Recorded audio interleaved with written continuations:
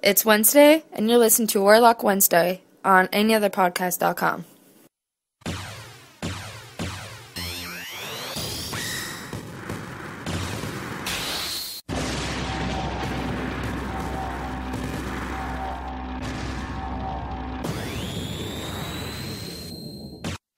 Good evening and welcome to another Warlock Wednesday Warlock Hour with Razor. Um, got a big show today, big long things to talk about, so I'm just going to get right to things with the comic releases. Uh, DC Comics this week, the five comics I've chosen are three of them are dealing with the Death of the Family series. As you know, I'm I'm personally reading this one. I'm enjoying the series. We have three issues of this series coming out related to the return of the Joker uh, Batgirl number 16, Batman number 16, and Batman and Robin number 16. All three of these deal with the ongoing event, if you want to call it that, for Death of the Family, and uh, I will definitely pick, be picking those up. Two other issues to add into the five issues from DC that I'm looking forward to is uh, Superboy number 16. Personally, not reading this anymore, but uh, it's still a good read for those of you who enjoy the Young Adventures of Superman, Superboy, whatever you want to call them. Uh, also, Suicide Squad number 16. My comic book store doesn't carry this very much, so uh, I hope to get an issue before they're all gone, but we'll have to wait and see when Wednesday gets here. Uh, you'll be listening to this on Wednesday, so hopefully you got your copy. From Marvel this week, all new X Men number 6, Captain Marvel number 9, and uh, Marvel now releasing another title, Savage Wolverine number one. I'm definitely looking forward to that to see how that goes. Uh, Captain America number three, Avengers Assemble number eleven. Uh, not too many uh, comics coming out from the non-big two, meaning non-DC, non-Marvel. I got a couple though that uh, look interesting. Dynamite Entertainment is uh, releasing Kevin Smith's Bionic Man number 15. Uh, for those of you who don't know, Kevin Smith wrote a script for the Bionic Man to be made into a movie. That never happened. This was I think he said about 20 years ago. But they've taken that script and they've now made a comic book series out of it, and this is issue number 15. Also from IDW Publishing this week, G.I. Joe number 21. So that's it for the comic news. I'm gonna skip to a little bit of tiny little bit of gaming news this week. We don't do too many gaming news. It's um, hard to get some of the information that I want yet. I want to try and piece it together very well when I do it. But right now, the little bit of comic book news I want to get into is something that I started, I back believe, on episode one of Warlock Wednesday. Was I was asking people who play World of Warcraft to donate ten dollars and get a in-game companion called the Cinder Kitten, and that this money was going to be going to the American Red Cross uh, for the Superstorm Sandy relief effort. Well, the numbers are in because that was for all of December, and December 31st was the last day that they were selling this uh, particular pet for the charity. Now, the game is still like Blizzard Entertainment will still be selling this pet, but unfortunately, from this point on, the money does not go towards the the Sandy Superstorm Sandy Relief Fund. However, what they did raise for the month of December, $2.3 million. So $2.3 million from, not from Blizzard, from people donating the $10 that they wanted to, to get the Cinder Kitten. All of that money, 100% of the proceeds, went to the Superstorm Sandy Relief Fund. So that means for one month, for 31 days, 230,000 Cinder Kittens were purchased, and all of that money, $2.3 million worth, went to this relief fund, and I think that's absolutely super fantastic, and that's why I wanted to report this little bit of gaming news, just because I thought it was absolutely amazing. Alright, to the biggest section this week. Now, as I said, I, I, don't know how long this is going to run, but there's a lot to cover, and that's the entertainment side. So I'm going to go. Uh, first thing we're going to do is uh, go to the, of course, the box office um, numbers for the week. I couldn't even get the word out, and uh, they were a little bit surprising, yet not. Uh, as I said last week, uh, Texas Chainsaw Massacre got bumped out of the top spot. um, actually dropped quite a bit. You'll see that in a few seconds when I start doing the countdown. So number ten, uh, Silver Linings Playbook, which um, got nods for um, the Oscars this past week, and also, as we'll get into later, won a few awards at some award shows that have already happened. It's award season that's coming up all of most of January, right through up until the Oscars air in February. I believe they're in February. I think they're February third. I think that's the Sunday. I could be wrong about that. I don't think. Now, now that I think about it, I think that's Super Bowl Sunday, so it might not be that. It might be the week before, this January 27th. I'm not quite sure when they actually I'll get that information though a little bit later. I don't have anything pulled up yet. Um, but number 10, Silver Linings Playbook, got some Oscar no- uh, notice and got some awards this week. So it jumped up two spots from number 12 last week. And uh, what's helped this movie is uh, when when it opened, it opened on very limited screens. I believe a few weeks ago I, I had said it was only on like 71 screens. Well, now it's up to about 810. Uh, the increase in sales from last week to this week is over 38%. So people are going to see these movies that, that, that get the Oscar nominations, that get the nods. You know, people trying to fill in their list of seeing the to- the movies that have been nominated for best Oscar, best picture Oscar. Those are always popular this time of year. So that bumped it up. Now remember last week Texas Chainsaw was number 1, dropped 8 spots down to ninth place. 75% drop in, in money, made 5 million this weekend. 5.2, so puts it above Silver Linings, which made 5. Um, its take is about 30 million overall. Uh, it's it's a movie that probably brought out a lot of more people than, like I said, I, it brought out a lot more than I thought. I, I personally thought the Texas Chainsaw movies were done. I, I we've seen so many. Word of mouth says that this movie was enjoyable, but not great. And you got to remember what I think what bumped it up to number one was the fact that it's 3D because it barely had the number one spot last week. So to say that it was a solid number one last week, no, but it was. It was number one. It made over twenty million dollars. That's good enough for January number one. That being said, it has dropped down to ninth place. Moving down the list, uh, eighth place this week was Parental Guidance, which dropped from fifth, uh, making in bringing in six million. Uh, number seventh, up one spot, uh, Lincoln. Again, another Best Picture nominee, so it brought in a little bit more business. It, its numbers actually jumped 17% from last week and made 6.3 million. Dropping another three spots this week, The Hobbit. I think we've kind of run the course for The Hobbit. And the staying power isn't going to be great. Will it cross the 300 million domestically? That remains to be seen. It still has a long way to go. It made 9 million this weekend, or 9.1. It's up to 278 million, so it could still cross that 300 million dollar mark, which is always key when you're talking about movies uh, of this caliber. Uh, so it, it could still pass it, but it's still got a long ways to go, and uh, as the numbers start to dwindle, it's harder and harder to get to that mark. Uh, moving up or moving down in another spot, uh, fifth place this week, dropping from fourth, uh, Les Mis, Les Miserables, 9.6 million. Uh, dropping from second to fourth uh, due to uh, due mainly I think to the new releases, but still bringing in 11 million dollars. Django Unchained, uh, again a very excellent film. These two films, Les Mis and Django, I went to see them on the same day. They were both spectacular movies. If you haven't seen either of these movies, you should. Uh, Django may not be for everyone, but Les Mis certainly is. It's an absolutely fantastic movie.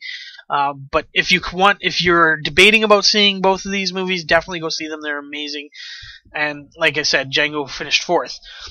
Uh, new release Gangster Squad came in at third with 17 million.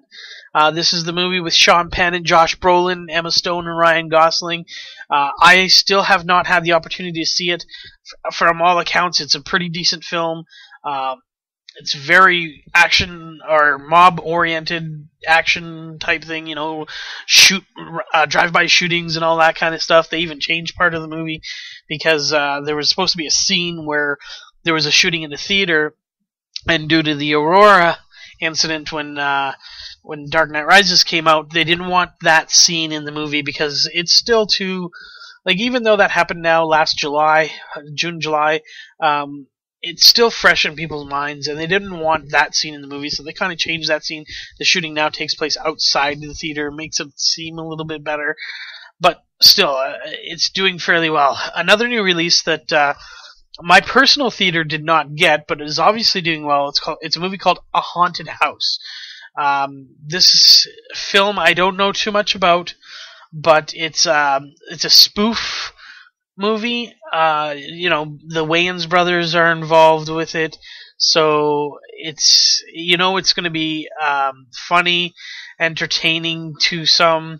Uh, the main actors are Marlon Wayans, Cedric the Entertainer, Nick Swardson, David Koechner. Uh, all very funny actors and everything. So it's probably um, going to get uh, lower as the w- next week comes uh, and the new releases come out. But it made $18 million this weekend, and my theater didn't even have it. So that goes to show you that just because a theater uh, movie doesn't come to your city doesn't mean it can't succeed. A Haunted House finished number two. Number one this week, up from the 16th spot because it had a very limited release last week. In fact, uh, the increase in theater count was 2,877 screens, which means this movie uh, last week was, let's see, 2,877. Just do some quick math. Only was on 60 screens. So an 806% increase in money, and it came in with $24.4 million. Uh, Zero Dark Thirty is, of course, the based on a true story of the hunt for Osama bin Laden, uh, starring Jessica Chastain. I don't know who else is in it. I know she's in it, but um, it's hard for me to watch a movie like that being Canadian. I think this is really more of an American movie. Uh, it's really gung ho America. I mean, don't get me wrong. I, I was thrilled as anybody hearing the news that uh, SEAL Team Six killed Osama bin Laden. Uh, definitely a threat to everybody, not just the states. But um, I think this movie is more of an American movie, and for me, uh, they they don't interest me that much. And I'm sorry that uh, that's the way I feel, but that's just the way I feel. It's Zero Dark Thirty is not a movie that I'm probably going to see. Uh, I know others will, and I hope you enjoy it. It's not for me. So those are the results from this past weekend, and uh, this coming weekend, three uh, re- movies being released. Uh, Broken City with Marky Mark and Russell Crowe, with Russell Crowe playing uh, a mayor who's probably corrupt. Marky Mark is playing a, an ex cop who was corrupt, so it, it just seems like it's going to be um, quite the drama movie, and uh, I'm looking forward to seeing that. And I can't believe I said that because I can't stand Russell Crowe, but you know Marky Mark's in it, so it's hard to say. But not sure when I'll see it, but I definitely am interested. It, it, it's a movie that does interest me. Uh, the other movies coming out this week. Uh, one of the other ones is um, The Last Stand, which means Arnie is back, people. He said, I'll be back. Well, he's back. Arnie, Arnold Schwarzenegger, and Johnny Knoxville star in The Last Stand, which is basically about a old, old sheriff of a town where some criminal drug kingpin is coming through. He's like the last stand between this criminal and him escaping forever. So go figure, right? Arnold Schwarzenegger and Johnny Knoxville. So it's going to be some kind of action comedy. I mean, some people knock Arnold Schwarzenegger because he's like what in his 60s now. Uh, you know what? He keeps in decent shape. He was a bodybuilder for all those years. He's been out of the limelight for 10 years. He's no longer the governor. So I say let the man work. Like, I mean, maybe it's not going to be the greatest movies of all time that we're going to see. We're going to see Arnold Schwarzenegger doing Arnold Schwarzenegger stuff. He's going to do movies that he probably wanted to do, but just didn't have the time to do and wasn't allowed to do while he was the governor of California. So maybe it's just time to let him do these movies. I mean, some of these movies are probably going to suck. Like I, I'm, I'm thinking Triplets, which is the sequel to Twins. When he, when that one comes out, I'm not too sure how that one's going to go. I mean, you've got uh, Danny DeVito supposed to come back. Arnold Schwarzenegger is supposed to come back, and the third brother, the triplet, is supposed to be uh, Eddie Murphy. Out of those three, I, I, wouldn't mind seeing an Eddie Murphy movie if he was doing, you know, Axel Foley the way Axel Foley is supposed to be. Since he's not, if he's not playing Donkey, it's not going to be that great. So, to quote uh, somebody I'm a big fan of, Ralph Garman, that is a movie that will suck. And I'm probably going to avoid that one. But this one here, it looks funny. Johnny Knoxville's hilarious. Arnold Schwarzenegger's in it. I know there's a few other actors I recognize. I believe Forest Whitaker was in it when, uh, when I saw the trailer. So it could be a decent action comedy. And you know what? In January, it's always hard to put out movies because all these movies that are coming out now probably won't even be talked about around Oscar time next year, so it doesn't really matter. Uh, the last movie coming out this week is a little horror film called Mama, starring Jessica Chastain, who um, is playing a punk rocker in this movie. Takes in a couple of little girls being haunted. I'm, I'm, doing quotation figures. You can't see that because you know you're listening to a podcast and not watching me. But uh, she they're being hunted by this thing that they call Mama, and this movie is supposed to be. It's based on a, a three minute little short film, and uh, apparently it keeps a lot of that to it. So it's it'll bring in some money, but will it be in the top five next week? Hard to say. I think Last Stand and Broken City actually can crack crack. Bleh, I can't speak. Can crack the top five. You know what that means, though. It's time for a drink. So, those are your movie releases for the coming weeks. Now, lots of entertainment news to get to. Um, for those of you who are Hunger Games fans like myself, the sequel, Catching Fire, is being filmed right now. And actually, they're probably just wrapping up film within the next little bit there because she's got to go. Jennifer Lawrence, that is, when I say she, um, she has to go start filming uh, the new X Men sequel for X Men Days of Future Past. But um, they released online this week pictures of the wetsuits that they have to wear for catching fire because this one, the games, the quarter quell is the third quarter quell or the 75th Hunger Games is going to be taking place in a water world type area. Like there's going to be actual underwater stuff. So, so part of their costumes is a, um, it's like a wetsuit. It looks like almost like a spandex wetsuit is blue or gray and, and black and, um, so they've released pictures of those online this week. They've also uh, shown pictures of the actor um, who's playing Finnick, named Sam Claflin. I, I don't know if I'm saying that right, but uh, he's playing Finnick Odair. They have pictures of him released this week. So if you want to see these pictures, you can go to uh, and uh, check them out. Not a sponsor, by the way, just uh, one of the news sites. They have pictures up there of uh, Finnick and Katniss Everdeen, who is Jennifer Lawrence. Uh, great movie that I'm looking forward to. Um, Paramount Pictures apparently are forcing J.J. Abrams to make Star Trek 3D. Uh, Star Trek 3D, or Star Trek Into Darkness, which is the sequel to the Star Trek reboot that J.J. Abrams did with such great success, uh, was making the sequel. He he shot basically he shot it in 2D. He shot the movie in 2D. It's being converted into 3D. Uh, now, when he was told, basically he was told by Paramount that they're releasing this movie in 3D. He, he, he did not decide that. So before you go bashing J.J. Abrams because this movie is going to be in 3D, it was not his decision. It was Paramount's decision. They wanted uh, Into Darkness converted to 3D, and they said it's purely economical. We can make more money with the 3D prices. We want the um, we want that to be the way it's going to be. J.J. Uh, Abrams said, I have trouble with 3D sometimes. I can't see it right. I get a headache. It annoys me. I hate the glasses. I hate the fact that things get so dim.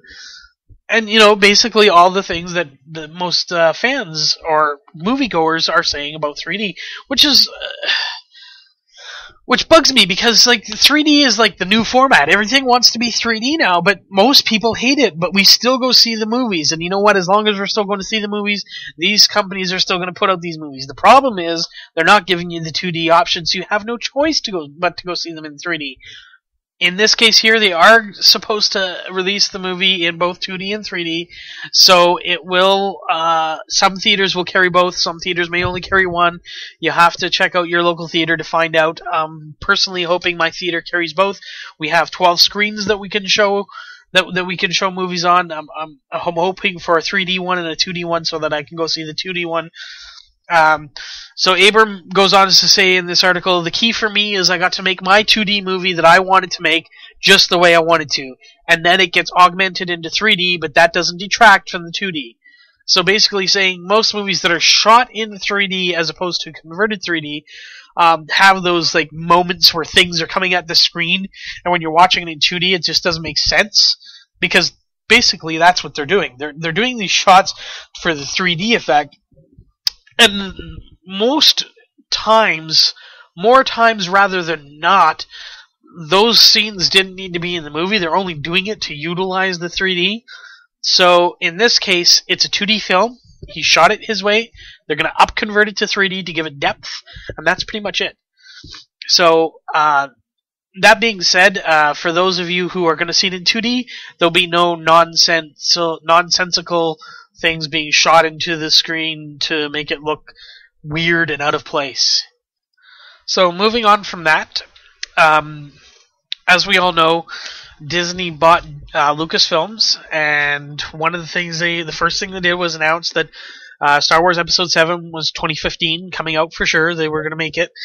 Uh, now, ABC, which the, is the network that Disney owns, has announced, or not announced, but they said that uh, basically the long time in production proposed live action Star Wars television series, it could happen now.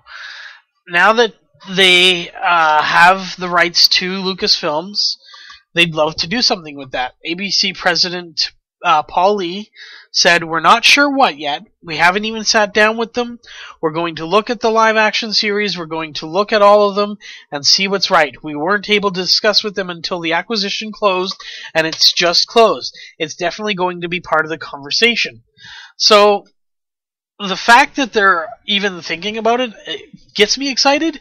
But the question is, where do they take this? What, what do we, what do we want to see as fans that would we would watch as a weekly episodic show that could last like five, six, seven years. You you want something that's going to last. That's what that's what producers. That's what uh, presidents of of networks.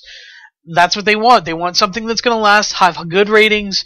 So, what as fans do we want to see? Uh, personally, for me, I'd love to see any live action series that does not include Jar Jar Binks. If it includes Jar Jar Binks, forget it. I don't want to see it.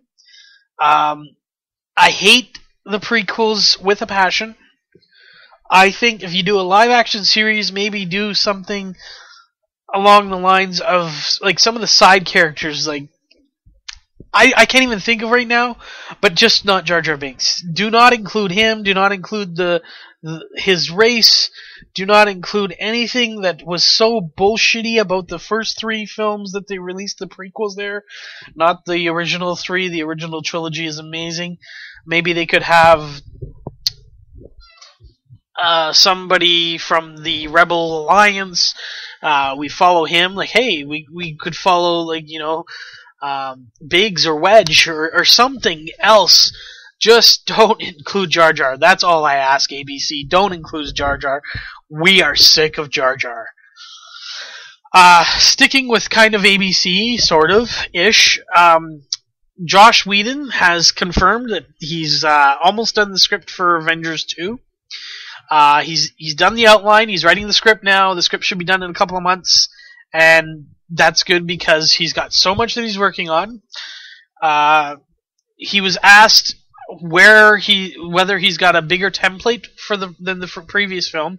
Whedon said Don't go bigger, go deeper. The grand thing is that all of these people have met, so you have that out of the way. Now you can spend your time just digging in, and by digging in, I mean with a scalpel to cause pain. So, we all know, it's been hinted that Thanos is going to be the big bad of Avengers 2, so I think we're going to see some friction. We're going to see more. We're, we're going to see more character development as opposed to the meeting. We're going to see more character development um, in their interactions, and that's going to be good. So, and plus, we still don't know what's going to happen with all the other um, Marvel movies, like how they're going to tie in, because as we all know, there's little bit, little bits of tie-ins for every one. We still got four more. Well, no, let's see. We've got one, two. Iron Man 3, Thor 2, Captain America, and uh, Guardians of the Galaxy. So, yes, we have four movies that are going to tie in. So, we still have little bits and pieces before we get to 2015 and, and Avengers 2. Um, he was also asked about the new Shield show, Marvel's Shield, which is supposed to actually begin shooting um, a week from Tuesday. So, about the 22nd of January, they start shooting that and that's a series that'll be played in the fall. Um, he was asked about that. He uh, he said, "You've got to bring a little bit of a spectacle spectacle to it." I can't talk tonight. It's going to be bigger than your average cop show, but at the end of the day, it's about the peripheral people. It's about the people on the edges of the grand adventures. The whole point of this show is that even with all these big things, the little things matter. So it's about people who don't have superpowers. There will be some people with powers, there will be effects, the spectacle of science fiction storytelling, but all played on a very human, small level. And I think that's pretty much what we expected. If you expected more, then I think you're an idiot. Uh, but pretty much what we we, we expected. It, it's about the Shield team. It's about the agents. It's not going to be about Thor, Captain America, Hulk, um, uh, Hawkeye, any of them. It's not going to be about any of them. I was going to say Scarlett Johansson, but that's not her character name. It's Black Widow. Uh, but um, where was I? Yes, uh, the Shield show is going to be about the agents. And speaking with that, I have another little bit of news from S.H.I.E.L.D., so to speak. It was announced that S.H.I.E.L.D. will, in fact, take place after the um, the results of the Avengers. So uh, here's the little quote. Let me see if I can find it here. Okay, IGN spoke to ABC president Paul Lee, who said flat out the series takes place after the events of the Avengers. Quote, there is no question that it is part of the Marvel Universe. In fact, the story takes place after the battle for New York. So, like Whedon said, it's going to be on its own, and the agents are Clark Gregg is going to be coming back as Coulson. He's going to be joined by Brett Dalton, who's going to play Agent Grant Ward. Iain De Caestecker, again, these names sometimes as Agent Leo Fitz, Elizabeth Henstridge as Agent Jemma Simmons, Ming Na Wen as Agent Melinda May, and Chloe Bennet as Skye. Joss Whedon is going to direct the pilot and co-write the pilot with his brother Jed and Jed's wife Maurissa. And uh, so Coulson is there. The question is, how are they going to answer the question for us then? Remembering that we do have Iron Man 3 coming out in May, this would be a fall series. They could answer the question in Iron Man and then bring it full circle in this show. Now, when he said earlier that uh, there would be superpowered people, I think we're going to see some cameos at some point. I think you have to get at least one episode early on with Sam Jackson playing uh, Nick Fury. Um, I think that would be wonderful. I think that's something they got to look into, and I think that would be, I think one of the first, if not the pilot, maybe the one right after the pilot, episode two, would have to have Sam Jackson in it. Uh, one of those two episodes do have to have Sam Jackson in it to kind of tie it in. Although, because you have Agent Coulson, Coulson's been the the linchpin through all these movies maybe that's enough. I still think we're going to see some cameos from time to time. Disney has the big bucks to do it. Let's get it done. I'm looking forward to it.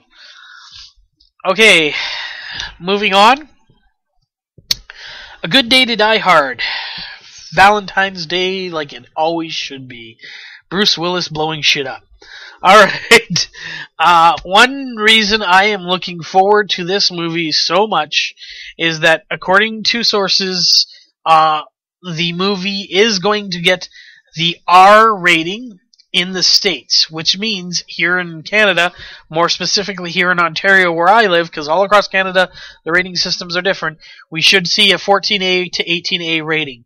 Now, this is significant because Live Free or Die Hard, the Die Hard, Die Hard was the f- third, fourth release, sorry, and it was only PG or PG-13 for Americans.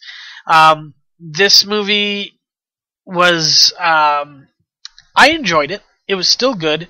When you bought the D- DVD or Blu-ray, it was definitely, uh, it got the R rating put in because I think they added in the scenes and they filled out scenes like he does say "Yippee ki motherfucker" in the on the Blu-ray. Uh, I don't remember him saying it in the movies, but it, he very well could have here in Canada, but apparently he definitely did not in the states. So that being said, the first three diehards were all given the R rating in the states. So they're back to the R rating. They're saying, okay, you know what? We know what works. Let's do what works and not have this being a PG movie. So I'm looking forward to this. This is going to be my Valentine's Day since my girlfriend lives in Ireland. And even if she was here, we would be going to see Good Day to Die Hard because you know what? I have an amazing girlfriend. She loves these kind of movies. So you're looking for a date? A Good Day to Die Hard? Definitely a good Valentine's Day, in my opinion. If you can find a woman that wants to see a Good Day to Die Hard with you on Valentine's Day, marry her. All right. More movie news. Walt Disney has announced uh, some of their upcoming release dates for movies that they have coming out. Just going to read off the list. It'll be quicker that way. Muppets 2 is now slated for March 21st, 2014. So we got a little bit of wait for that, just over a year, year and a couple of months. Uh, Captain America Winter Soldier is staying put on April 4th for 2014. Um, it's supposed to be in 3D as well. Um, I'll probably again hope that I can see it in 2D, not 3D. Uh, okay, I, this one I cannot pronounce. Maleficent, M A L F I C E N T. All I know is it's Angelina Jolie in it, and it's going to be in 3D. It was originally scheduled to come out March 14th, 2014, and is now being pushed to July 2nd, 2014. All I know about this movie is it's very heavily, heavily, heavily using special effects. That's pretty much all I know about it at this time. I can look into it more if, if we really want to, but I'm just doing the release dates. Guardian the Guardians of the Galaxy is coming out August 1st, 2014. That's staying the same. Again, that one's 3D. A lot of these movies are 3D. Uh, a movie called 1952 by Brad Bird is now coming out on December 19th, 2014. And Pirates of the Caribbean 5. That's right, we're getting a fifth one July 10th, 2015. So good old Johnny Depp is going to don the pirate outfit again, which is um oddly reminiscent of what he's going to look like this summer when we see the Lone Ranger and his Tonto outfit. It's not exactly the same, but I, I I can see the similarities. A lot of people said, "Oh, I can't tell it's Johnny Depp," and when you first just look very briefly at his Tonto, you can't tell. As soon as he starts talking, as soon as he moves, you're like, "Hey, that's Captain Jack Sparrow," and that's how I saw it. Uh, one thing they did, uh, Disney did say, is that The Little Mermaid, which was going to get a re-release into 3D, as they've been doing with a lot of their movies on September 13th of this year, that is no longer happening. Now, whether it's no longer happening, period, or whether, or if it's just being postponed, um, this is all that's been announced. It's not happening. And you know what? Uh, it's I, I hate the 3D, but this is one movie that I would have liked to have seen on the big screen. I was too young when it originally came out, or too not wanting, not able to see it. Some something happened. I never got to see it on the big screen. I didn't see this movie till it was out on DVD, and it is a wonderful kids movie. And you know, I may be in my 30s now, but I remember the being the kid and enjoying The Lion King, enjoying Little Mermaid. You know, those kind of movies are what I grew up on. Monsters Inc. was recently re-released into 3D. Just even listening to the music while I'm working, because I work at a movie theater, it's just wonderful. So a little bit disappointed that it's not getting the re-release, but like I said, it could just be a postponement. Uh, more movie news. Uh, the last little bit before I move on to a different segment of entertainment. Uh, the Assassin's Creed movie starring Michael Fassbender, who, by the way, is also co-producing the game and pro- co-producing the movie uh, with Conor McCaughan. Um, they've hired a writer. Um, Ubisoft Motion Pictures and New Regency have hired up-and-coming British writer Michael Leslie to pen their big-screen Assassin's Creed adaptation. Leslie is an acclaimed English playwright who wrote Prince of Den- Denmark, which was performed at the National Theatre in 2012. The two companies are currently searching for a director to take on the film. So Assassin's Creed now has its star, its writer, it you know needs a director. So I say get your ass in gear and get this picture made. I don't know if Michael Fassbender would be my first choice to play the Assassin's Creed character. I'm not sure which storyline they're doing. Again, they just hired the writer, so I don't know if he's going to kind of combine the games or if he's going to take a specific one or what he exactly is going to do. But when I picture the character from the first game, anyways, Fassbender was not the first guy that came to mind. However, I think Michael Michael Fassbender will do a great job and I'm looking forward to this movie whenever it finally gets made. So, I mentioned earlier that it was award season. So, award season means there are many award shows that are going to be on within the next few weeks, usually on a Sunday. Uh, or sometimes Wednesday, uh, there'll be award shows, especially in the entertainment industry. You know, they award stuff for 2012, and that means lots of awards talk. So the first thing I'm going to do is something that I wanted to do ever since I saw this posting on um, Wednesday of last week. So oh, when you're listening to this a week ago, the 33rd annual Razzie nominations. The the Razzies, for those of you who are unsure, is the Golden Raspberry Award Foundation, and they nominate not the best, but the worst of 2012. That's right, they nominate the worst. And the reason why I was so excited is because the worst includes something that I loathe more than most, and that's the Twilight series. The Twilight series, Breaking Dawn Part 2, leads the way in worst nominations. So let's get right to the nominations. Worst screenplay. The nominees are Atlas Shrugged Part 2, Battleship, That's My Boy, A Thousand Words, and Twilight the Breaking Dawn Part 2. Worst Screen Ensemble. Nominees are the entire cast of Battleship, the entire cast of Oogieloves, the entire cast of That's My Boy, the entire cast of Breaking Dawn Part 2, and the entire cast of Madea's Witless Protection. Worst Director nominees Sean Anders for That's My Boy, Peter Berg for the Battleship movie, Bill Condon for Breaking Dawn Part 2, Tyler Perry for Good Deeds and Madea's Witless Protection, and John Putch for Atlas Shrugged Part 2. Worst Screen Couple any combination of two cast members from the Jersey Shore that were in the Three Stooges. Uh, Mackenzie Foy and Taylor Lautner for Breaking Dawn Part 2. Robert Pattinson and Kristen Stewart for Breaking Dawn Part 2. Tyler Perry and his drag getup in Tyler Perry's Madea's Witless Protection.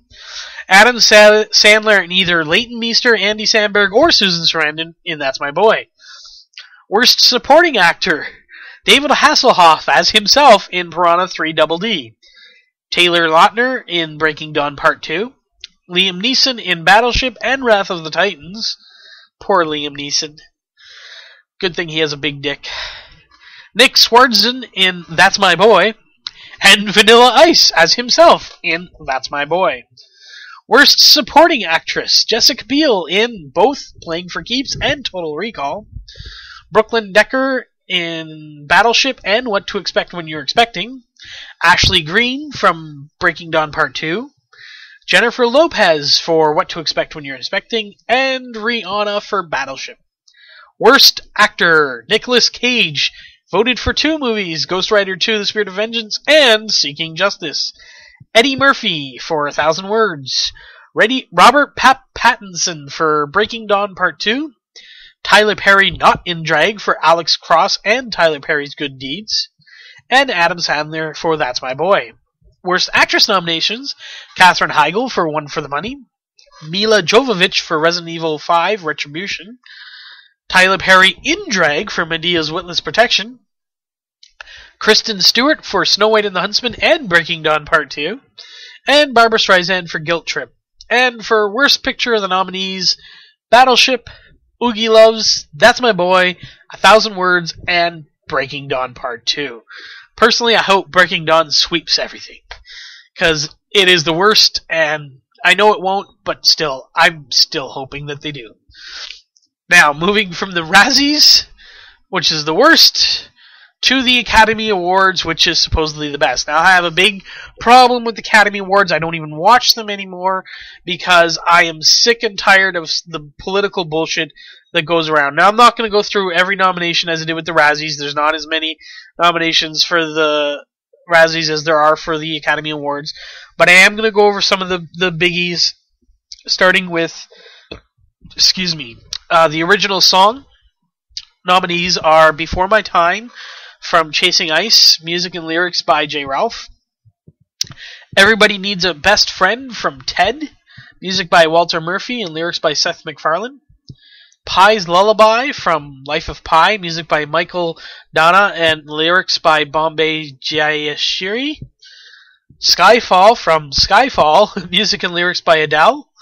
And Paul Epworth, and Suddenly from Les Miserables, music by Claude Michael Schoenberg, lyrics by Herbert Kurtzmer and Alain Boublil. Uh, I'm probably pronouncing that name wrong. so, moving on to um, Best Animated Feature, the nominees are Brave from Disney and Pixar, Frankenweenie from Walt Disney Pictures, uh, Paranorman from Focus Features, Pirates, Band of Misfits from Sony, and Wreck It Ralph from Disney. So Disney has a very good chance of winning here with three nominations being Brave, Frankenweenie, and Weenie, and Wreck It Ralph. And uh, if I were to pick, it would be a tie. Brave and Wreck It Ralph were absolutely phenomenal films. So, moving on. I'm going to do the writing just because uh, there's two separate writing categories, but I am going to do them. Uh, writing original screenplay, the uh, nominees are Amour, written by Michael Haneke, Django Unchained, written by Quentin Tarantino, Flight, written by John Gatins, Moonrise Kingdom, written by Wes Anderson and Roman Coppola, and Zero Dark Thirty, written by Mark Boal. The adapted screenplays go to nominations of Argo, written by Chris Terrio, Beasts of the Southern Wild, which I've never heard of, written by Lucy Alibar and Ben Zeitlin, Life of Pi, written by David Magee. Lincoln, written by Tony Kushner. And Silver Linings Playbook, written by David O. Russell. And now to the big, kind of, big five, uh, or big six, I guess, is the last little bit here. Uh, actress in a supporting role, Amy Adams for The Master, Sally Field for Lincoln, Anne Hathaway for Les Mis, Helen Hunt for The Sessions, and Jacki Weaver for Silver Linings Playbook. Actor in a supporting role Alan Arkin for Argo, Robert De Niro for Silver Linings Playbook, Philip Seymour Hoffman for The Master, Tommy Lee Jones for Lincoln, and Christoph Waltz for Django Unchained. Actress in a leading role Jessica Chastain for Zero Dark Thirty, Jennifer Lawrence for Silver Linings Playbook, Emmanuelle Riva for Amour, uh, oh, Quvenzhané Wallis for Beasts of the Southern Wild. Again, never heard of the movie and can't pronounce that name. Naomi Watts for The Impossible. Actor in a leading role Bradley Cooper for Silver Linings Playbook, Daniel Day Lewis for Lincoln, Hugh Jackman for Les Mis, Joaquin Phoenix for The Master, and Denzel Washington for Flight. Best Director Michael Haneke for Amour, Ben Zeitlin for Beasts of the Southern Wild, Ang Lee for Life of Pi, Steven Spielberg for Lincoln, and David O. Russell for Silver Linings Playbook. And the nominees for Best Picture Amour, Argo, Beasts of the Southern Wild, Django Unchained, Les Miserables, Life of Pi, Lincoln, Silver Linings Playbook, and Zero Dark Thirty. Now, before I continue on, I want to say this is fucking bullshit. Because I've never heard of this movie called Beasts of the Southern Wild, which I'm guessing is a foreign film. Which is fine. It's probably low budget, which is fine. I've never seen it in the top 10, which is not fine. Um, I get sick and tired of these independent movies that don't make any money, that only critics seem to like, that people have never heard of, uh, get nominations over other things and other people that might deserve it. Now, granted, the movie Argo did get nominated for Best Picture. However, Ben Affleck did not get nominated for Best Director. Yet, by all accounts, and I haven't seen all these movies, but by all accounts, it was a fantastic film, and he definitely deserves not only the nomination, but probably the Oscar for it. He won't win it because he's not nominated. Now, that's not to say that Argo won't win Best Picture. It very well could.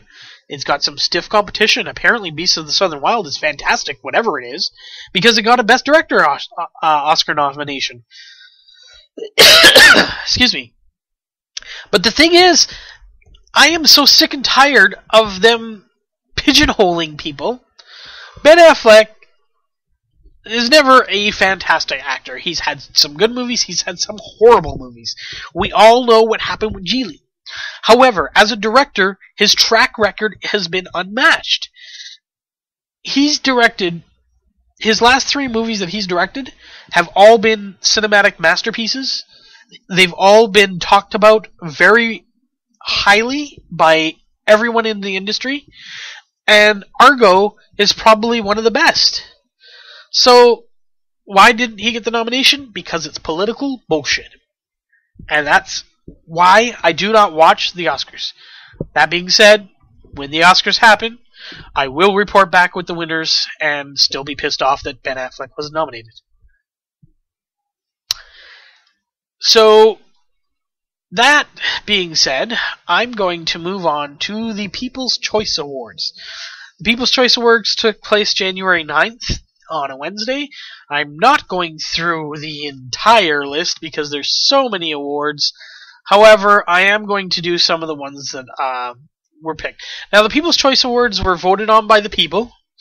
No, uh, no critics, no journalists, no directors. Nobody else votes on them, but people go online. and They are able to vote. Now, you can tell the kind of people who actually pay attention to these by what won, because I disagree with quite a few of them. Uh, favorite movie? My favorite movie, as I talked about in a previous episode from 2012, was The Avengers. Now, every movie that was nominated except for one was on my list of top 10 movies for 2012. The movie that won, I'm not disappointed it won. I still don't think it was the best movie. The Hunger Games. I thought it was a very good movie, and the people spoke. They definitely uh, voted for the Hunger Games, which tells me a younger crowd does watch the People's Choice Awards, or at least votes for the People's Choice Awards. And it's also a lot of uh, Americans voting, and uh, as I found out with The Voice, they don't always like what I like. In fact, they they downright I downright usually loathe what they like. But you know, I can't do anything about that. I can do. I couldn't vote for the voice. I I did vote for the People's Choice Awards. Uh, I picked the Avengers. Um, one of the things that pissed me right off was uh, well, okay, maybe not pissed me right off. I'll get to that at part later. But one of the things that got me really upset was favorite fan following, and that was the Twihards from Twilight. Well, I call them the Twitards. They're moronic, they're idiotic, and anybody following the Twilight series are stupid people. You're rooting vampires, and you're making a second-rate author seem fantastic. Sorry, that's the way I feel. Personally, I would have even would have chose Harry Potter fans or Lord of the Rings fans or Hunger Games fans over the Twilight fans any day of the week. Favorite action movie? Again, I would have picked The Avengers. Unfortunately, it was The Hunger Games. Excuse me, but I've got an alarm going off. Alright. There we go. That's that settled. So an alarm's going off now in the middle of talking. Okay, now where was I? Yeah, so favorite action movie was again voted The Hunger Games. I would have chosen The Avengers. Uh, favorite action movie star? Chris Hemsworth. I can agree with that. Personally, I would have voted for RDJ, Robert Downey Jr. Love him as Iron Man. However, Chris Hemsworth, I'm okay with that. Favorite movie franchise? Hunger Games. Again? Yes, again. Unfortunately, The Dark Knight, The Avengers, Madagascar, and Spider Man did not qualify because they were the first or last ones of their series. I don't know because The Hunger Games was the first one of their series. So, favorite movie franchise? Hunger Games has one movie. Avengers had four movies leading into it. The Dark Knight, uh, or the Batman trilogy, whatever you want to call it, has three movies. Madagascar has three or four movies. The Spider-Man, while it's a reboot, still had a whole bunch of movies. Yet The Hunger Games gets voted favorite movie franchise. Okay, whatever.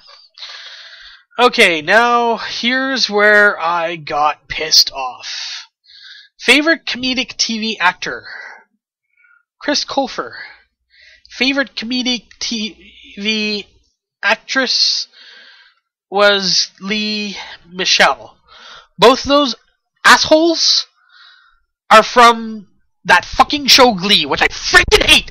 I hate Glee with a passion. I cannot stand it. It's a piss poor excuse for a show. It's this. Oh, it just pisses me right off. I want to choke everybody who watches that show. You're ruining TV. Yes, people are watching it, so it's popular. But you know what? If you are not a 14 to a 19 year old girl or boy in high school, you should not be watching this show! It's stupid!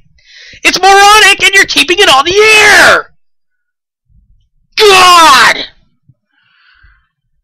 What pisses me off the most about this shithead winning comedic TV actor is he was against Jim Parsons and Neil Patrick Harris, both of whom could be funnier in their sleep than this moron who won. Ah. Okay. Moving on. If I can. Okay. Favorite sci-fi fantasy TV show? Supernatural. Um, no. First of all, that movie has gone downhill since season three. Uh, I even find it hard to watch the show right now. About four or five episodes behind. I'll probably do what I did last year and just catch up at the end. But considering it was against Doctor Who and The Walking Dead, you can tell again who are voting for these shows. Mostly females and mostly teens to uh, young adults. Because Doctor Who and Walking Dead should both be ahead of Supernatural, with probably The Walking Dead maybe just edging out Doctor Who.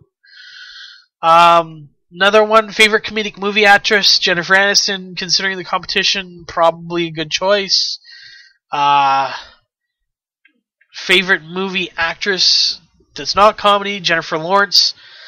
Oh, she's beautiful. All these actresses were absolutely beautiful. Anne Hathaway, Emma Stone, Jennifer Lawrence, Mila Kunis, Scarlett Johansson. Throw a dart, pick a winner. That's I, I can I can accept Jennifer Lawrence as favorite movie actress. Um, favorite dramatic TV actress, Ellen Pompeo. Maybe not my first choice. However, favorite dramatic TV actor, Nathan Fillion. Yes, the man gets some respect now. Uh, he won for Castle, of course. Favorite face of heroism, Jennifer Lawrence in The Hunger Games. Now, like I just said, throw a dart and you could almost choose a winner, except in this case. Kristen Stewart was nominated for Snow White and the Huntsman. Seriously? Favorite face of heroism? Thank God nobody voted for her. Favorite pop artist? Katy Perry. And favorite um, fans, apparently, the Katy Cats. Catty Cats, whatever she wants to call them. Apparently they were definitely the cat's meow, so to speak. they were voted the favorite fans. Um, favorite dramatic TV show was Castle, which was awesome. I loved that show.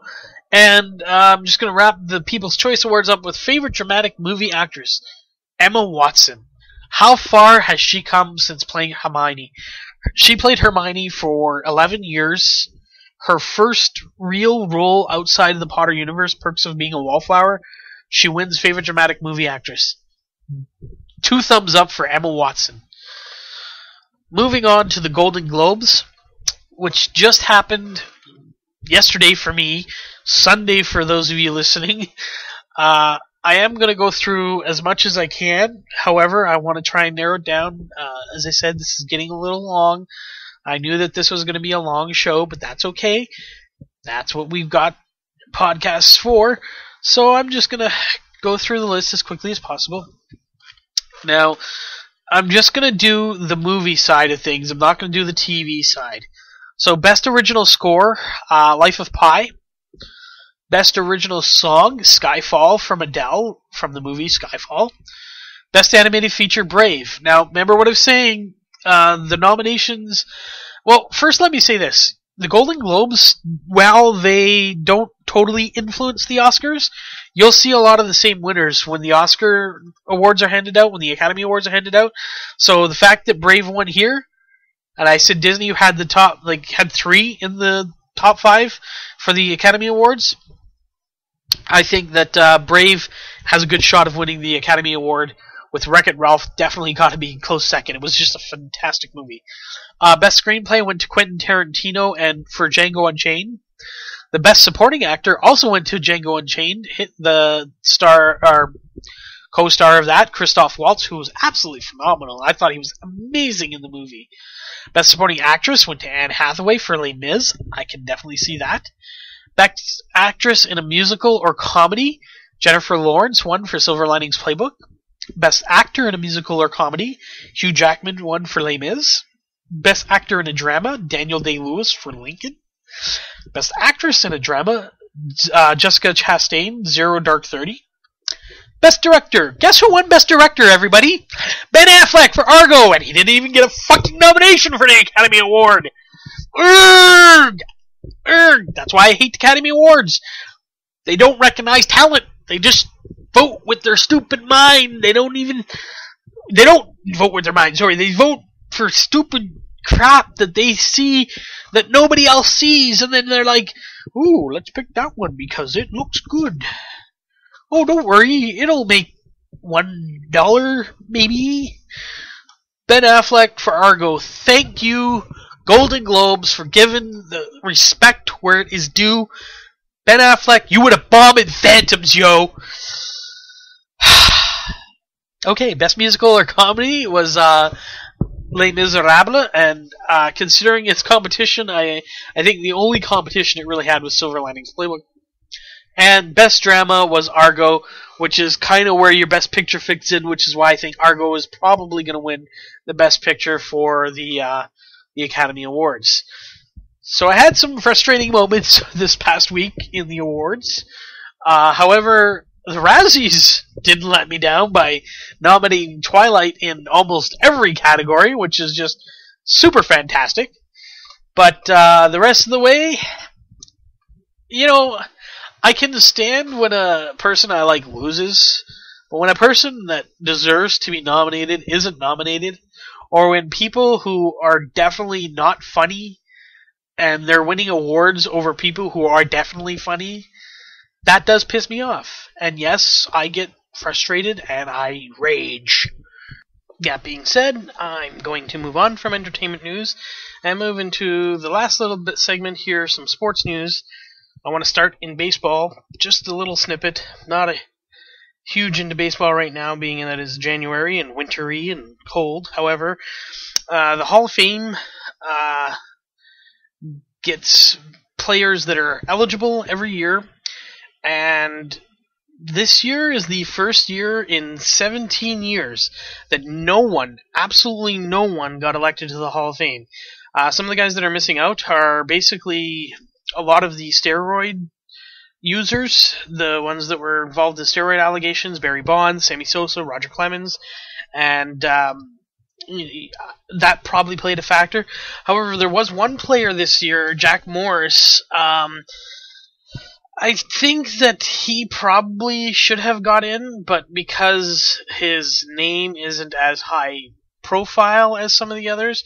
I think the steroids played quite a big factor this year, and the journalists and sports writers uh, were trying to make a statement, I guess, since these uh, players were available to be elected, and no one, excuse me, no one is going in this year. I think that's why Jack Morris doesn't get in this year, but I believe that he should get in in the future. Um, a little bit of NHL news. Uh, NHL season starts January 19th. I'm looking forward to it. I'm excited, even though I said earlier in earlier broadcasts that uh, I thought there would be no season. Um, Gary Bettman, who's still an asshole and I think should still be fired, uh, he and Donald Fehr, who was another person I think should be fired, uh, came to an agreement. Uh, it was ratified by the owners first and then by the players this past weekend. Training camps opened yesterday, that being yesterday Sunday, not yesterday Tuesday when you're listening to this on Wednesday. But uh, Sunday training camp started and uh, they're in full swing. By Wednesday, they'll have been four days in training camp and three days before the season starts. So Saturday afternoon, there's a whole slate of games on the schedule. I am a Leafs fan, so as a Leafs fan, I'm looking forward to the Toronto Maple Leafs versus the Montreal Canadiens in Montreal. I always have a bet every year with a friend of mine to see which of our teams will have the best record against the other, like basically who could get more wins against the other. We've been doing this bet now for this will be the sixth season in a row the previous five seasons, because these teams normally play each other an even amount of times, for the first uh, year, two years of our bet, it was eight times they played each other, and they each won four games that year, so they split, so nobody won the bet. Uh, the last three years of the bet, because uh, yeah, the last three years of the bet, they've played six games against each other, and again split three and three. So they, as, as bad as the Leafs have been, they're always up for the challenge when it comes to the Montreal Canadiens. So it, it doesn't really matter where they are in the standings. These two, these two teams always play each other tough, and I'm looking forward to a great series this year. However, this year someone will win the bet. Simply because uh, of the shortened season, they're playing each other only five times, so it won't be an even number. Somebody is going to win at least three games, and the other team will win two. It could be four to one, it could be five zero, oh, but somebody is going to win the bet this year because somebody because uh, there is a win in hockey now. There's no more ties. They go to OT and then they go to a shootout. So since there's no more ties, um, there is going to be a winner. Uh, another NHL note on Friday, the Toronto Maple Leafs fired long uh, one of the probably greatest NHL GMs of all time in Brian Burke. A lot of people are speculating why Brian Burke was fired. Uh, some people have said that uh, because he couldn't make the trade for Luongo. Uh, other issues have come up, but uh, I think there's three key issues why he was fired. One, the Leafs have not made the playoffs under his regime. He was GM for what three and a half, four years, four and a half years. Uh, he never once made the playoffs as a GM. Uh, the closest he came was tenth place in the Eastern Conference, and that's not really close when you think about it. Uh, I think that was one key issue, not making the playoffs. Another key issue, I don't think he was able to uh, get a deal done to acquire Rick Nash. I think getting Rick Nash in this past off season might have done something to maybe solidify his his tenure and maybe at least given him this 48 game season to see what he could do. And I think the final and probably the more likely reason, uh, other than missing the playoffs, because obviously that's important, but the new ownership, who is now uh, a three-way ownership with um, uh, Larry Tannenbaum owning 25% of the team, and then the uh, other 75% is split between Rogers and Bell, two of the biggest conglomerates here in Canada. And um, I think they basically didn't like his style, especially the way he interacted with media, and they're both media outlets. I don't think they like, like liked his style at all, and uh, he's not going to change. He's a stubborn Irishman. He said it many times before. He's not going to change his style. He's not going to change his brand, as he called it. Uh, but I think that played a big issue. I think the worst part of this firing is the timing. Nobody has said why. I think if it was done sooner, now to be fair, the owners took over in August, and then the lockout happened in September. So maybe there just wasn't enough time between the owners taking over in August and and that September deadline when the lockout happened. Because when the lockout happened, that changed everything. Like they couldn't do anything, they didn't want to do anything. So uh, I, I, think that's how this we came to this decision at this time. The lockout was over, it was official, and boom, fire Burke. So I want to wish good luck to Dave Nonis, who's taking over. I would like to see him continue to build what uh, Burke started, because I know it's going to go a different direction. Whenever you have GM change, it always does. But uh, Dave Nonis has been a big friend of Brian Burke's for such a long time that they they obviously have similar things. And I mean, Nonis was in there and probably was involved in a lot of the decisions since he's been brought in for the three and a half years that he was there, of the four and a half tenure of Brian Burke.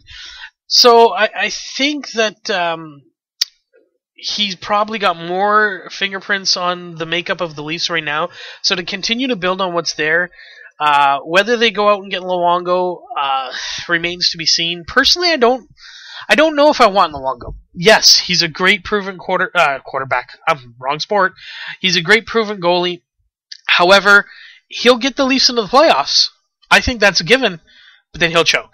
It's what he does. He chokes in the playoffs. Uh, no offense to the man. He's won a gold medal for Canada, but he chokes in the playoffs, and that's a fact. You look at his time spent. I don't even think he made the playoffs in Florida. That was such a while ago. But the, his time in Vancouver, every time they made the playoffs, he chokes. He he gives up huge games. I mean, it's not like like even when they were in the Stanley Cup final, like to to have. I think they had a three-one lead at one point, uh, three games to one lead, and Boston roared back and just shell shocked him. Like, I mean, seriously, maybe it wasn't three one, it might have been three two, but still, he, they they rode back to win the last two games, and they they they just pelted him with goals, and then and then they get eliminated by the Los Angeles Kings, who. Granted, went on to win the Stanley Cup last year, but they were the first place President's Trophy team, winning team, the, the Vancouver Canucks, that is, and they lost to the eighth place, squeaked into the playoffs, uh, Los Angeles Kings. Now, all playoffs is usually hottest team at the right time, and definitely the Kings were that. I mean, Jonathan Quick was phenomenal. I keep trying to get him in my fantasy drafts uh, for fantasy hockey this year, and he's sometimes hard to get. I usually end up getting Lundqvist if I can get a goalie uh, in the first round if I don't draft like first overall, because you know Steven Stamkos is number one in my mind as a first overall pick. But um, to to try and get Jonathan Quick is so hard because he's such a great goalie and he's so young. So I mean, hopefully he can continue this play because he's going to be a good goalie for many years to come. But uh, I don't even know if I want Luongo to come to Toronto just because he's just going to choke in the playoffs, even if, as soon as they get there. So it's not great. Now there's other goalies on the market, possibly. I mean, you look at St. Louis has two great uh, goalies, Bill, uh, Brian Elliott and uh, Yaroslav Halak. Um, whether they're willing to trade one remains to be seen. They could flip flop them like they did last year. Uh, injuries could play a factor, so teams might want to not, might not want to do that. Uh, over in LA, there's Jonathan Bernier, but again, another young guy. I personally think that if Reimer is healthy, if Reimer can stay healthy for the, the, this 48 game stretch, and Scrivens can come in to spell him every like maybe five games, he gets in like what? So two, three, four, doing quick math again, maybe eight to ten games, so that uh, uh, only playing about a 38 game schedule as opposed to the full 48. And 38 games, uh, when you think of an 82 game season, is pretty pretty damn good. Uh, it's actually even a little low, but 38 games in a 48 game schedule, you're still playing a high percentage of the games. You're you're still doing everything you can to uh, to help your team win. So I, I would be okay with Reimer and Scrivens this year, and then maybe do something in the offseason depending on how the year goes. I think that if Reimer returns to form the way he was at the end of the two seasons ago and the beginning of last season, then I, I think the Leafs have definitely uh, a solid goaltending option. It's just that with the way things were last year, it was really tough to gauge his mettle because, like I said, he was hurt a lot, and they were interchanging goalies a lot. So, I mean, I'd be okay with Reimer and Scrivens as long as Reimer can be healthy and stay healthy. Then I, I think the Leafs have a chance. Moving on from hockey, we're going to move into football, and football had its playoffs. I went two for two this week. Uh, perfect four for four in week one of the playoffs, but two f- two not sorry not two for two two for four. Um, I picked Denver to beat Baltimore, and they lost the game. Uh, Baltimore did not win the game. Denver lost the game. That's how I'm seeing this. Uh, Peyton Manning threw an interception in overtime that basically cost them the game. You, I know, like, like when you when you're playing like the game in the first four quarters, you can throw an interception, and as long as it's not the last play of the game, you always have a chance to come back. You always have a chance to get the ball back and, and do something with it right away. You throw an interception in overtime, it's game over. Uh, I like Peyton Manning. I think he's I think he's still a great quarterback, even at 38 years of age. I think next year he's going to be putting up the same kind of numbers he put up this year. But you can't do that, and he did. So Denver lost the game. Baltimore's moving on to the AFC Championship game. In the other AFC game, New England is who I picked. New England is who won. They beat Houston in the regular season 44 to 10. They beat New Houston in the postseason 41 to 28. I hate New England with passion. I hate them so much. They are the I hate them almost as much as I hate the New York Yankees. No, probably more than I hate the New York Yankees. I loathe this team. I hate their quarterback. I think he's uh, a jerk. I think he's an idiot. I think their coach is a cheater and I will never have respect for their coach ever again. I don't care what he does from from that point forward, from that from that time that he cheated till the day he dies. I will never have respect for that man. He's a cheater, and he should have been fired on the spot. I I, I hate him. I, I can't stand the New England Patriots. I think most of their fans are fucking posers. They are bandwagon jumpers. they never attended games when they were losing. They only started attending games when they won the Super Bowl. I'm sorry, but that's not a fan. That's bullshit. I've been a fan of a losing team in almost every major sport for the past 20 well, okay, not 20 years, but for the past long long long time. Let, let me put it to you this way. I'm a big fan of the Buffalo Bills. They haven't been to the playoffs since 2004. The last time they were in a Super Bowl uh, was um, probably I. I'm, I'm going to get the date wrong, so I'm not even going to say. They went to four straight Super Bowls and lost. They've never won a Super Bowl. They are still my favorite team. I don't care what anybody says about them. They are still my favorite team. I'm a Toronto Maple Leafs fan. They haven't won a cup since 1967. I wasn't alive in 1967. In fact, I was still nine years in the making. I will. I have never seen the, Toronto Maple Leafs win the Stanley Cup. I've seen them come close. I've seen them get to a point in 1993 where they should have been playing the Montreal Canadiens for the Stanley Cup, but then a little player named Wayne Gretzky got away with a high stick they sent the wrong guy to the penalty box, and then the guy who should have been in the box scored the game winning goal. Yes, I'm still bitter about 1993. Get over it. I'm not. You get over it. I'm going to be bitter for that for a long time. anyways, the Toronto Maple Leafs are my team through thick and thin, through lows and highs. Granted, there hasn't been many highs recently. I mean, I think they've missed the playoffs now eight years in a row, so this could be. I, th- I actually think it's at seven, and this this year would be eight if they don't make the playoffs. So uh, I'm hoping that they do, so that it isn't eight. But I, I could be wrong. It could be eight going on nine years. But either way, they haven't made the playoffs in so long. Uh, I'm a Toronto Blue Jays fan. They haven't made the playoffs since 1993 when they won their second World Series. So I mean, that's almost 20 years ago. So yes, I know what it's like to be a fan. New England Patriots fans? Now, granted, there are some New England Patriots fans that were Patriots fans before they were winning the Super Bowl. However, I would say a good chunk, I'm saying probably in the upper echelons of 75 to 80% of their fans, quote unquote fans, I'm using quotation fingers again that you can't see, only became fans after they won the Super Bowl, and that pisses me off. Moving on to the NFC, I picked the San Francisco 49ers to defeat the Green Bay Packers, and they did. The Green Bay Packers, I said, did not look very good against the Minnesota Vikings when they won 24-10. I thought they should have clobbered the Minnesota Vikings because the especially when Minnesota didn't have their quarterback. I actually predicted Minnesota to make that game very close, and even though it was a 14 point difference, it should have been more. There should have been more points put up by Green Bay, and they should have dominated more defensively. Like it was just a fiasco. Um, so when I saw that, I said Green Bay did not win that game. Minnesota lost that game, kind of like Denver or Baltimore did not win their game. Denver lost the game.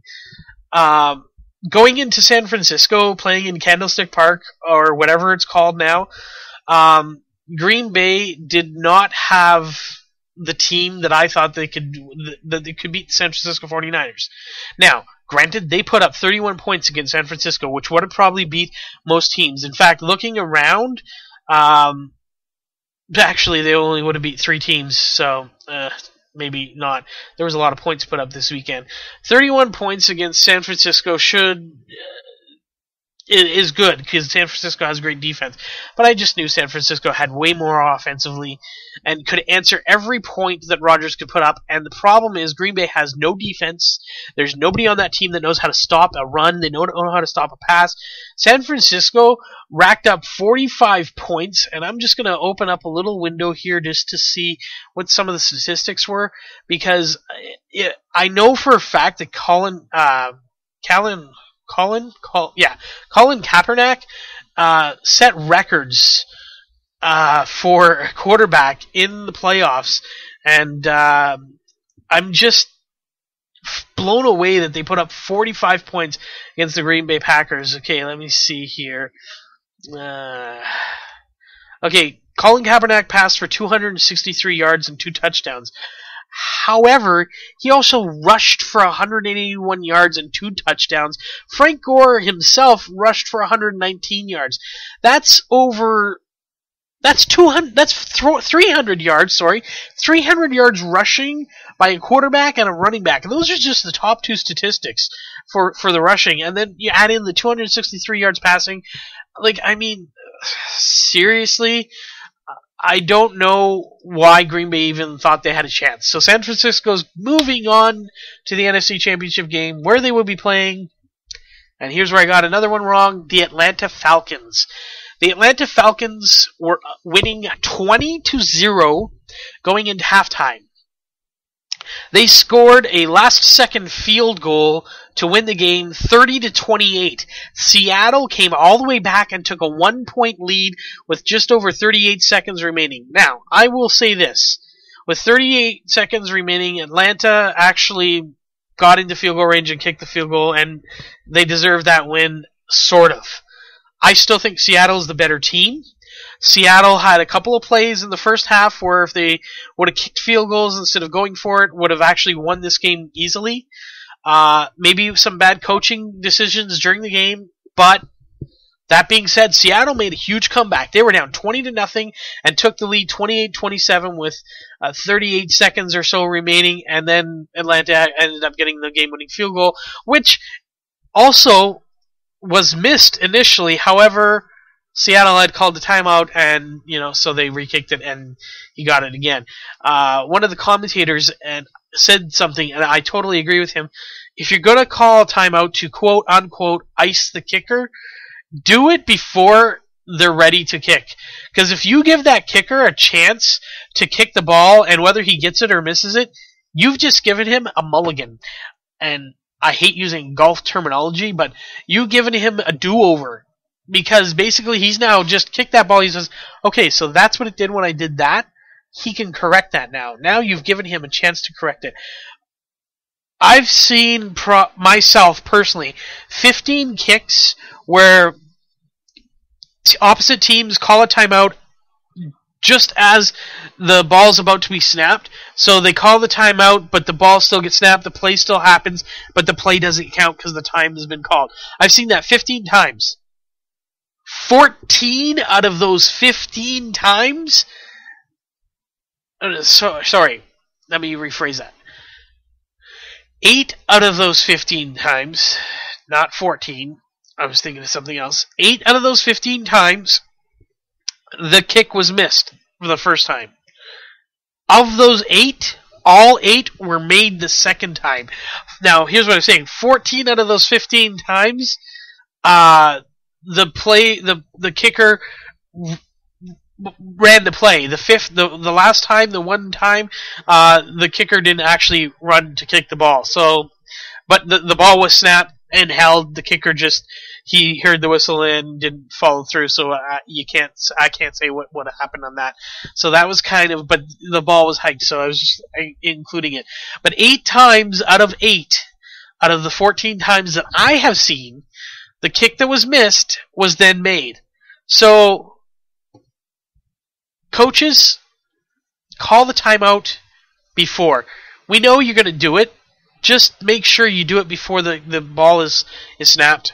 Like, with like three or four seconds before this ball is snapped, so that the referees have time to not get the ball snapped, so that kicker doesn't get that, uh, that do over kick, that free kick, to see how the conditions are. So that sets up the conference championships for this weekend.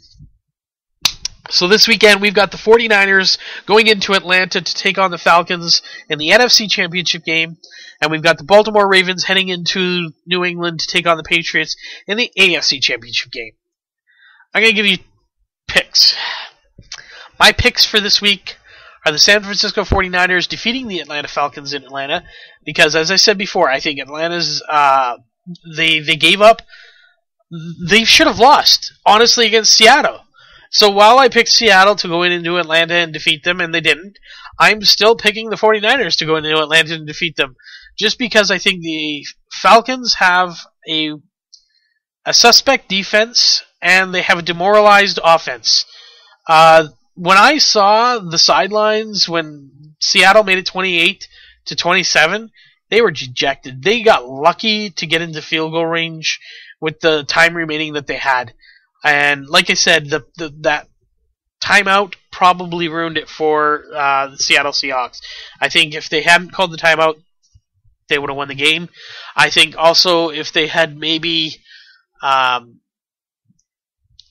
I don't know what else they could have done differently. Maybe taken more time off the clock before scoring the touchdown. Uh, sometimes you have no choice in that matter, but for whatever reason, the Seattle Seahawks came back from being down 20 to nothing.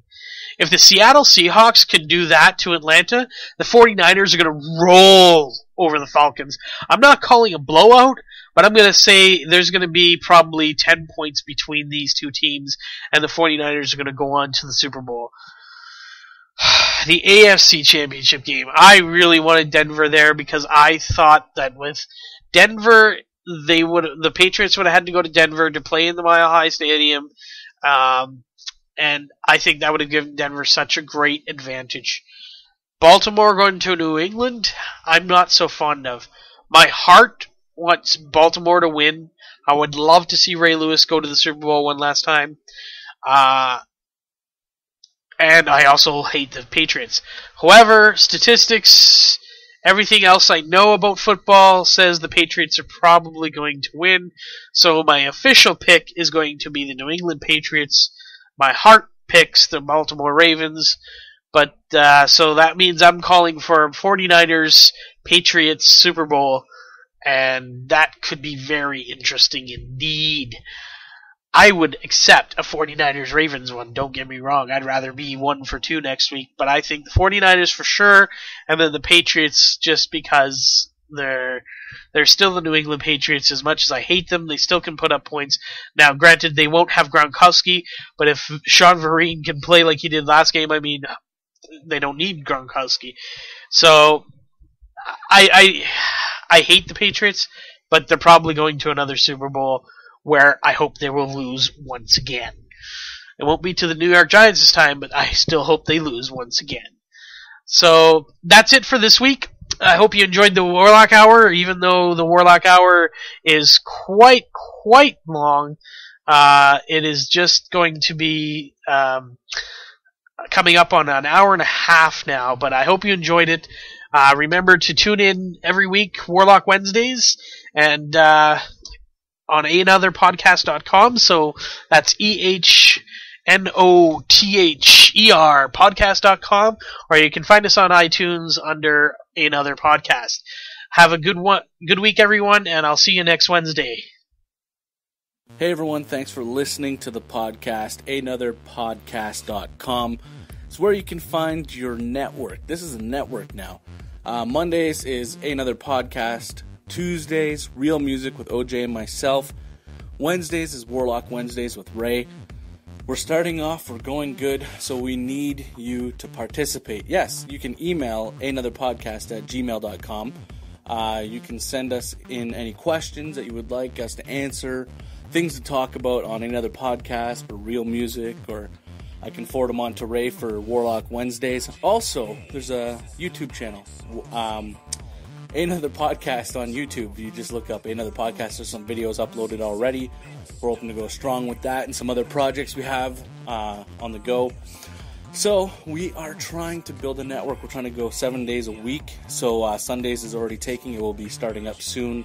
Uh, Comics with Mikey, I think I'm going to call it. Comics with Mikey, and then uh, that will won't necessarily be a podcast. It's going to be um, an actual uh, comic strip that you can go and read on sun- on Sundays. So we need four other shows: Thursday, Friday, Saturday. Wait, that's three. Yeah, we only need three. Thursday, Friday, Saturday. So we need some independent podcasters out there who want to podcast for free. Yeah, that's right. Free. That's what I'm doing for you. I'm to host it. I'm paying for it. I want to get my money's worth out of what I've paid for. So, if you are Canadian, that's the one rule. Maybe we'll do one import, just like the Canadian Football League. We'll have an import player. So, but uh, I'll work that out later. Uh, so, if you want to podcast once a week for free, a another podcast at gmail.com. Email me, hit me up, and we will work on it. I'll get you the details. Try to talk you through what I know, which is limited. No, not it's not that bad, and uh, we'll make it easy for you. Uh, things are going good. The website's getting hits. Love it. I love you for listening in, to it. Um, if I can speak plain English today. Thanks for listening. Ehnotherpodcast.com. Another podcast on Twitter. So you just go another podcast. And uh, yeah, you can also follow me at the real APOC on Twitter. So thanks for listening. Come back every day for more. Um, and uh, yeah, thank you very much. Bye.